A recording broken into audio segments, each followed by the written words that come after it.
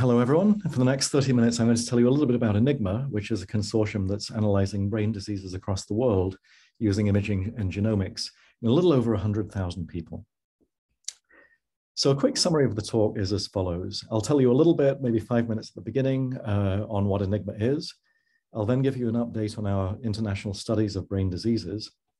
And then I'll tell you a little bit about what's new in Enigma. We have some new working groups, some new methods, uh, toolboxes to analyze uh, international imaging and genetic data that you might want to try out.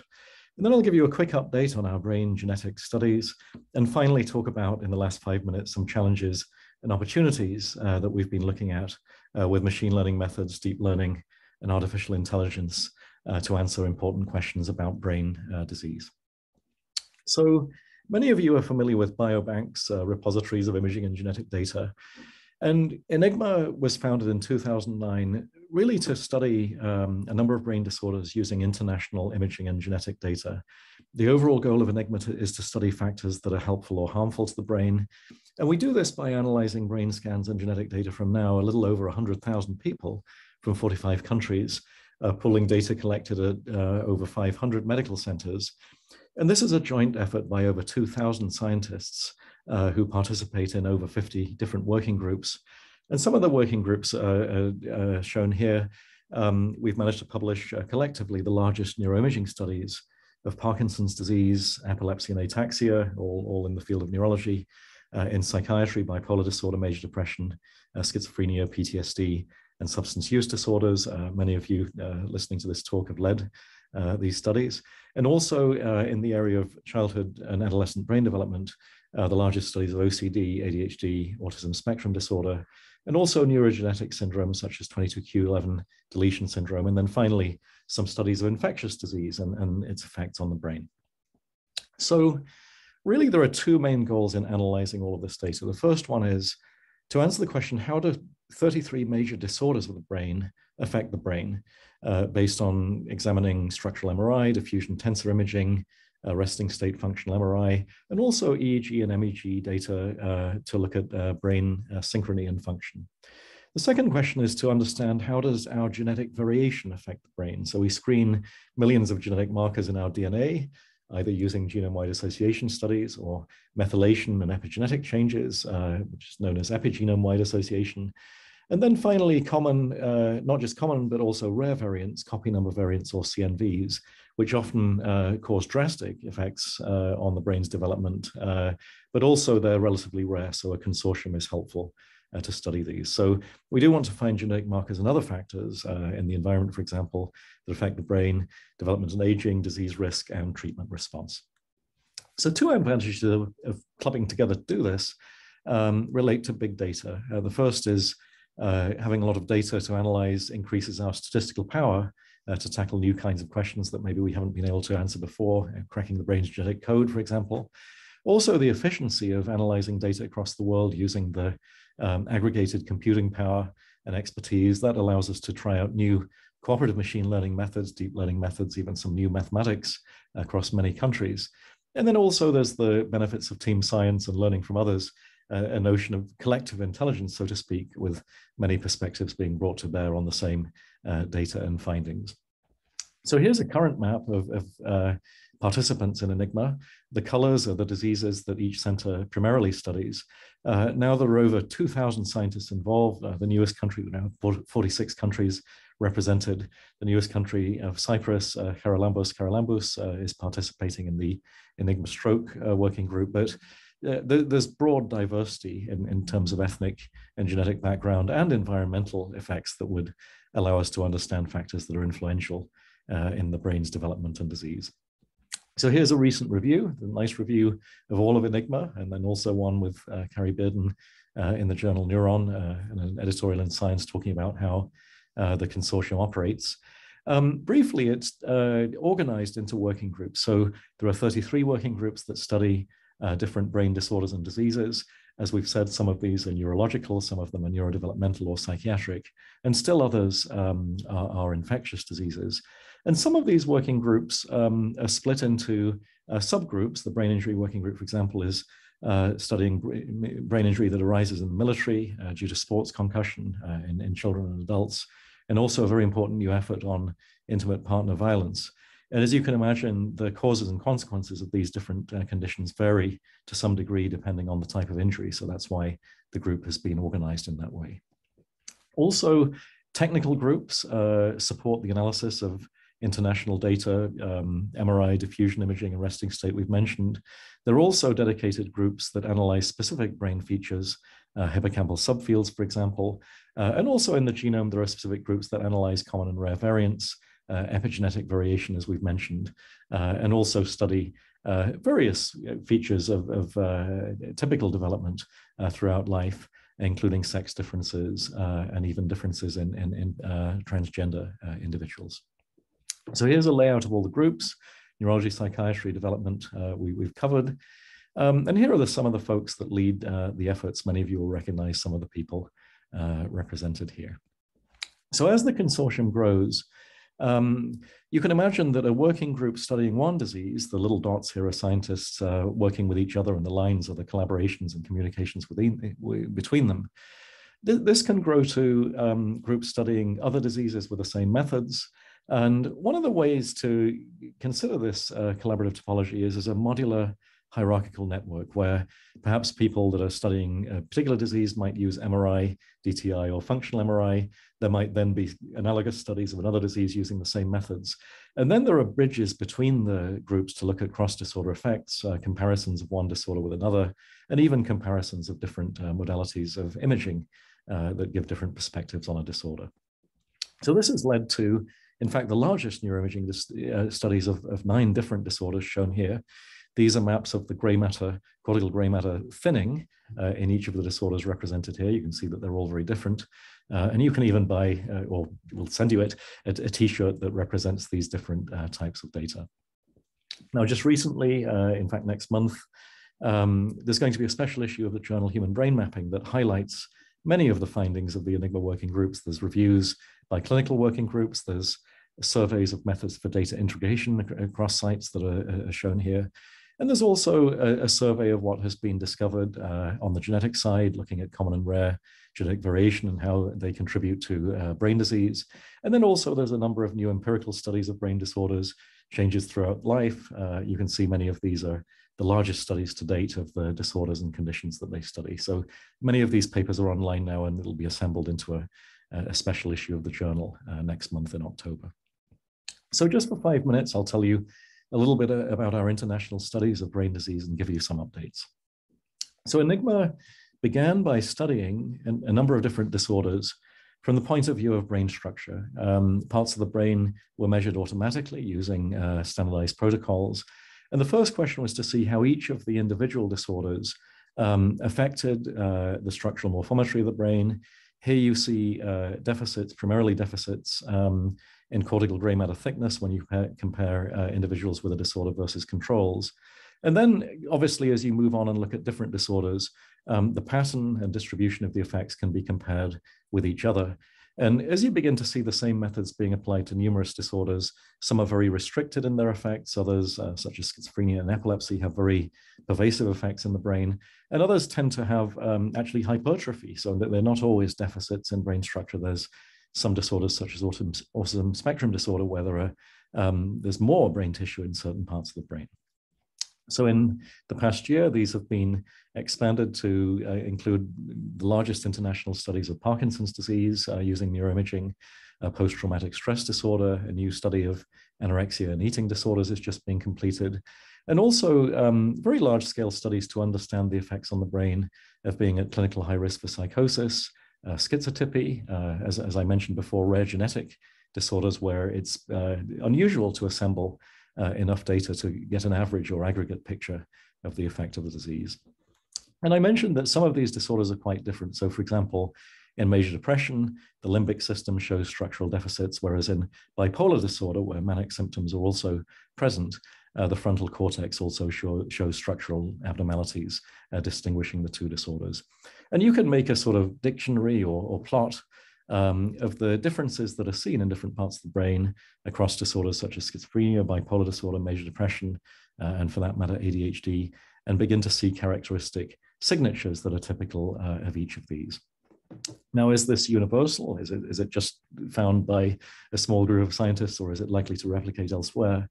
There's a very concerted effort by the uh, COCORO Consortium in Japan uh, that's led by Ryota Hashimoto. And they've been using similar analytic protocols, um, essentially to analyze the same psychiatric conditions in their consortium COCORO across Japan. You could see the sites where data was collected, and finding extremely highly uh, congruent results with even the rank order of brain structures that are affected appearing to be almost exactly the same between primarily European uh, descent cohorts and, and, the Japanese cohorts. And they, they've written a very nice review uh, recently out um, to compare the, the um, findings across uh, Japan with the ones that have been found in Enigma. Beyond meta-analysis, we're well aware that some of these disorders are progressive. It doesn't make sense to say that this is the picture of disease recently completed study by Enigma Parkinson's surveyed data from 20 countries, and they stratified the patients into uh, individuals with different stages of Parkinson's disease. There's a, a Yahr staging system, which uh, uh, describes progressive um, abnormalities in, in, clinical function. And as you can see here, and, and perhaps a little bit more clearly on the next slide, there's not just an overall pattern of gray matter um, thinning in Parkinson's disease, but also as the disease progresses, a sequence or, or, or a progressive uh, trajectory of the disorder in the brain, primarily affecting gray matter thickness, but also with subtle abnormalities in the surface area of the brain. Other new working groups in Enigma, uh, this study of clinical high risk for psychosis was led by uh, Maria Jalbrzikowski and Dennis Hernaus. Um, they, they assembled a truly vast sample uh, from 31 cohorts um, to, to really find that people at clinical high risk for psychosis have gray matter reductions in certain parts of the brain, the temporal cortex in particular. And even within the people at high risk, those who went on to develop psychosis versus those who did not uh, had even greater abnormalities. You can see the, uh, the, the fusiform gyrus, uh, the paracentral gyrus, and the superior temporal cortex are among the areas that help predict whether an individual will go on to develop psychosis. Very subtle conditions such as schizotypy are also being studied. So this very nice uh, study uh, by Gemma Modinos, Andre Aleman, and Matthias Kirschner um, looked at schizotypy. It's a, a, an unusual and uh, disorganized pattern of thinking, uh, which is not always regarded as a disorder, um, together with interpersonal uh, uh, difficulties in, in, in, socializing and also magical uh, ideation in some cases. And because this may raise the vulnerability, at least in some people, not everyone with this uh, condition, uh, for, for disorders such as schizophrenia, there's a lot of interest in what brain differences there might be. And they found very subtle differences in the frontal cortex uh, between people with high schizotypy scores uh, and those who did not. All these results of the different disorders are compiled in the Enigma Viewer uh, that's been written by Katie Hatch and Peter Kochunov at University of Maryland. Um, and also the Enigma Toolbox has recently been developed, recently published in Nature Methods by Sarah Lariviere and Boris Bernhardt and their team at McGill University in Montreal. Um, I do recommend you have a look at this. It's really interesting. It can relate brain maps to other sources of brain data on gene expression, cytoarchitecture, myeloarchitecture, and even multimodal connectomics. And they provide re really magnificent uh, tools, uh, both in Python and MATLAB, uh, to help you analyze not just your brain imaging data, but also relate it to uh, other sources of histologic uh, and cellular data. Now, one of the most interesting studies across all of the disorders that Enigma has been uh, studying was led by Yash Patel and Thomas Paus. So they were interested in uh, uh, um, relating the brain abnormalities that are seen in psychiatric conditions to possible cellular and molecular changes, including uh, gene expression changes. We don't always know what uh, types of brain cells are implicated in psychiatric illness. So they lined up the maps of deficits across the many disorders with patterns of gene expression, and in particular types of gene expression that are characteristic of certain cell types in the cortex. And there's a very interesting story here of um, you know, disorders that seem to influence um, the cortical surface area, um, they tend to um, overlap in terms of their abnormalities with genes expressed prenatally, uh, but, gene, but um, genes expressed postnatally tend to have an expression pattern that overlaps uh, with gray matter deficits, cortical thickness deficits uh, in some of the disorders. So very, very interesting line of work. Moving beyond brain structure, there are many analyses in Enigma uh, going into um, resting state functional MRI, EEG, MEG, other functional data modalities. I'll give you a little bit of a summary of those uh, in the next few slides. Um, the methods and toolboxes that have been developed for these are as follows. So Alison Nugent, Anna Namist, and Jeff Stout, who lead Enigma MEG, um, they, they have developed a pipeline for processing MEG uh, from uh, patients and controls to plot uh, parameters of the spectrum uh, of functional uh, synchrony or electrical activity measured using uh, EEG on, on the cortex. And, and they're in the midst of studying changes throughout life with aging and a variety of psychiatric disorders. Um, also, Henrik Walter, Leo Waller, um, Susanne Erk, and Ilya Veer have developed a task-based functional MRI working group uh, where people with functional imaging data on emotional face processing, reward processing, and working memory uh, can participate and link that to genetic genome-wide information. They now have over 10,000 people with both genomic and, and, functional data. And they also are processing this data um, with a really terrific pipeline based on uh, the Stanford fMRIPrep framework, but also uh, expanded with numerous additional features. So you can meta-analyze your resting state functional MRI data as well. And I encourage you to have a look at uh, this. There's a very nice preprint describing it uh, with Leah Waller, and she's given a number of tutorials on using this to analyze and meta-analyze your resting state and task-based fMRI. This has been applied to multi-site data in Enigma's PTSD working group, a partnership with the Psychiatric uh, Genomics Consortium. And uh, Carissa Weiss ha has uh, finished an analysis of over 20 sites where she's been looking at both static and dynamic changes uh, in brain connectivity, functional connectivity, uh, as assessed using resting state fMRI, uh, finding characteristic differences in PTSD. Moving on to diffusion tensor imaging, there are now over 10 of the largest studies conducted uh, of the disorders shown here, along with work underway on HIV, uh, brain injury, Parkinson's, and, and, the other disorders with the people listed here leading them. And in the end, um, there's a great deal of interest in mapping the microstructural differences. Um, there's a little bit more heterogeneity in the imaging protocols. And so as you'll see here, um, some of the methods that have been used to mitigate uh, the differences across scanners uh, are also being tested across Enigma. Here's a paper by Sean Hatton and the Epilepsy Working Group that has been looking at methods to align and compensate for uh, scanner effects in their diffusion MRI data. One of the approaches that's most common is ComBat. Uh, after fitting a statistical model, you look at the residuals and you scale and shift them so that the data from different centers match, uh, matches. And this is one very interesting and useful approach. Another approach is using deep learning and generative adversarial networks. Here, our student Dan Moyer developed a method um, to essentially say, how would your brain look if you'd been scanned on a different scanner? Very, very ingenious approach. Um, it allows you to take MRI data, um, adjust it so that it looks like it had been collected at a different site. And the hope then is that if you do this, uh, the ability to detect the effects of disease and not circumstantial factors such as the, the scanner protocol uh, is greatly improved. And there is some evidence that this works. This is work by Surabhi Sinha, Sinha in our, our lab, where she's used generative adversarial networks to correct or adjust MRI data at source, and then found that it's easier uh, to detect Alzheimer's disease in the resulting aggregate of scans after this correction. The VBM toolbox of Enigma, developed by Matthew Kempton, uh, produces whole brain maps of structural differences in, in, in disease. Uh, this is a really beautiful uh, uh, animation of um, essentially the effect of OCD or obsessive compulsive disorder on the brain as observed when you add uh, more and more cohorts. And so, you know, going up to uh, 20, 24, 25 uh, cohorts, you'll see uh, the regions with gray matter abnormalities in OCD uh, settling down as more and more data is added in.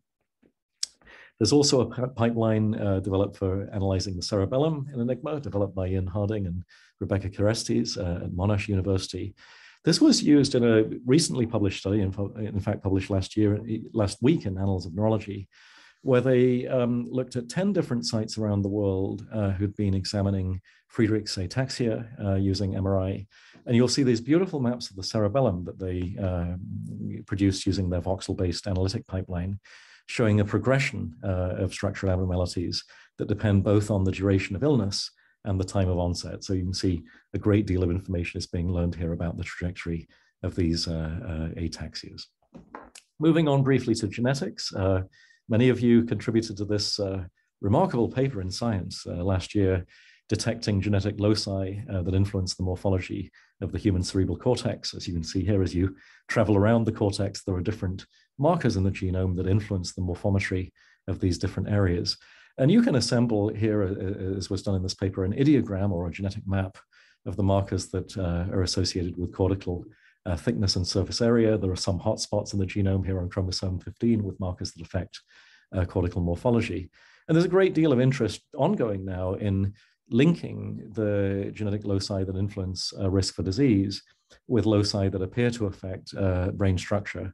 And, and, if there's a commonality, that could give us some clues as to mechanisms that are um, operating in, in causing uh, disease risk. Another quick update, uh, the study of genetic loci that influence uh, subcortical morphometry uh, was, was published in uh, Nature Genetics in 2019. Recent work by Miguel Renteria, Adrian Campos, and Sarah Medland uh, have now found 549 genetic loci affecting subcortical volumes. And you could say, well, how much difference does it make? Do people with different genetic code have very much difference in brain structure? And I think one of the most remarkable things is that now around 5% of the variance in the volumes of these different key brain structures, all of them implicated in neurological and psychiatric disease, the hippocampus, brainstem, putamen, and caudate, uh, is explainable from common genetic variants. Uh, even a polygenic score computed from their GWAS can predict uh, or account for around 5% of the variance. And in uh, non-European ancestry samples, um, in, for example, the ABCD cohort, around 2 to 3% of variance uh, is also explained. Now, are there genetic variants that affect the rate of brain growth and degeneration? Yes, there are. So Rachel Brouwer and Hilleke Hulshoff-Pol um, essentially computed rates of brain change across the lifespan from people who'd been scanned twice with MRI. And then they linked the rates that they observe for different brain structures. You can see different brain structures shown here with genetic variation and discovered, in fact, uh, 15 genetic loci that influence the speed of brain growth and, and, and aging, some of them operating all the time in a non-age dependent way, and others coming in later in life or only operating during development. Ongoing GWAS, if you want to contribute, uh, are going on for DTI cerebellar anatomy, as we mentioned with uh, Sarah Medland and Ian Harding and Rebecca Kerestes. Uh, also, subcortical GWAS, EEG, uh, and fMRI GWAS. If you're interested in taking part, you can contact the people who are noted here. Now, rare variation is also important. So often uh, there are rare uh, but important genetic deletions and duplications. And the Enigma CNV working group has been cataloging these and finding scans of people with um, genetic repeats uh, or deletions and trying to understand what the effects are on the brain. And so here's some really remarkable papers by Ida Sonderby at University of Oslo, uh, and also work by Sébastien Jacquemont and Clara, Clara Moreau in Montreal, finding uh, commonalities among different types of genetic deletion uh, in the systems that are affected, and also commonalities with the disorders uh, for which these genetic deletions put you at risk. And so there are uh, similarities between idiopathic disorders that are found in the general population, such as schizophrenia and ADHD, and the brain differences that are evident in people that carry uh, genetic deletions that put them at risk for these disorders. Um, a lot of power to identify signatures. This work is is ongoing. And uh, here's Ida Sonderby, Dr. Sonderby, showing um, the pattern of effects of different uh, genetic deletions. A little bit uh, to, to end with uh, is future directions. So um, machine learning and deep learning and AI are all very, very interesting. And with multi-site neuroimaging and genetic data, um, you could maybe find very interesting patterns that, that maybe had not been uh, discovered before. Um, one such group, the Enigma Brain Age group, um, is uh, actually has developed an algorithm that you could try. Uh, the website, uh, Tim Hahn's website is shown here where you can try it, where you can upload your regional volumetric data from the brain and estimate the age of the person. And uh, that's interesting exercise anyway, but also they found that in major depression and other psychiatric conditions, uh, the apparent age of the brain uh, appears to be older than the person's chronological age. Um, it's very, very interesting concept to study potential accelerated aging in disease. One cautionary note for applying machine learning to multi-site data uh, has been voiced by Dr. Yanli Zhang James. So she's been doing very interesting work on machine learning in autism spectrum disorder and ADHD. And she's observed that, as a matter of fact, many of the studies with machine learning of ADHD and autism spectrum disorder have been in actually rather small samples. Enigma, fortunately, is an exception. There's around three to 4,000 individuals with scans. But then it's led to really rather optimistic uh, conclusions as to whether um, a, a, machine learning method can diagnose the disease based on the data, often due to overfitting. So when uh, these methods are trained on a rather limited amount of data, they can tend to overtrain and give you rather optimistic results. And she assembled this really interesting curve that shows that uh, accuracy um, in, in diagnosing, uh, for example, uh, autism spectrum disorder based on brain MRI appears to be very good indeed, uh, at least in, in the data that you use to train the algorithm, but doesn't really do very well in independent data, cross-validation data shown in green. But this uh, behavior tends to recover when you have um, 2,000 to 3,000 examples. Uh, we certainly need more data uh, to train these algorithms, and then it levels out at quite reasonable performance. Yan Li has also been looking at uh, different uh, machine learning, deep learning uh, methods um, to uh, do computer-aided uh, diagnostic classification of uh, ASD and ADHD. And she's finding that variational autoencoders, a very novel concept from machine learning and deep learning, are tending to outperform or do very well versus at least traditional methods such as sparse regression and group lasso. And so this is a very interesting line of work. Um, Xu, working with uh, Yuval Neria and Raj Morey in the Enigma PGC PTSD working group, have actually merged structural diffusion and resting state data uh, to make predictions about PTSD uh, diagnosis. This is a very nice roadmap for those of you doing multimodal machine learning, really interesting work here. And they're trying to compare whether having all of these modalities versus just one, uh, you, you are better able to make predictions about diagnosis and prognosis. Also, a really nice toolkit, Hugh Garavan uh, and Sage Hahn have uh, written a number of papers um, on machine learning in the context of addiction, but also dealing with highly imbalanced samples. Often the site has only patients or only controls. And they, have really shown how to incorporate uh, these samples in, in very highly imbalanced uh, uh, scenarios and, and boost the performance of their machine learning methods. So just in the final minute, uh, if you'd like to join in with these, you're very welcome to. Enigma has a number of projects all going on. This year, I think we've been focusing more on understanding machine learning and deep learning and how to apply it for patient subtyping and predicting outcomes from brain images and other biomarkers. The very active question is whether deep learning methods such as variation autoencoders or generative adversarial networks can help harmonize data or adjust data that's coming from different sources and scanners uh, to better make uh, uh, your group inferences or conclusions in a meta-analysis or a machine learning analysis. Um, with the help of Ilya Veer, Leah Waller, Susanne Erk, and Henrik Walter, resting state fMRI analyses have been piloting in the PTSD and M MDD working groups with re really great success. And then also, as I mentioned, there are uh, harmonized analysis of newer data modalities, MEG and EEG, for example. Um, Dirk Smit leads the Enigma EEG working group. If you have EEG data that you're interested in, in uh, clubbing together to, to analyze. And then methods and toolboxes to look at new systems, the cerebellum, uh, Rebecca Kerestes and Ian Harding's uh, toolbox, uh, very, very useful, uh, very, very easy to use.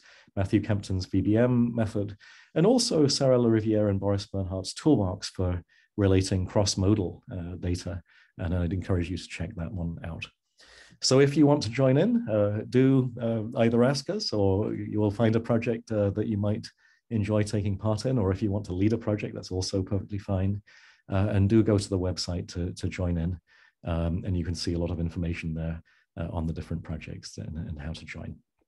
So in conclusion, thank you uh, to all of you for listening. Many of you made these projects possible. You either participated or led them or contributed expertise and data. And we, we really appreciate the broad diversity of uh, talents that have been brought to bear on this and uh, funding from NIH and across the world that has helped fund the data acquisition analysis that I've reported today. So thanks so much for your uh, interest and appreciate your time with us. Thanks very much.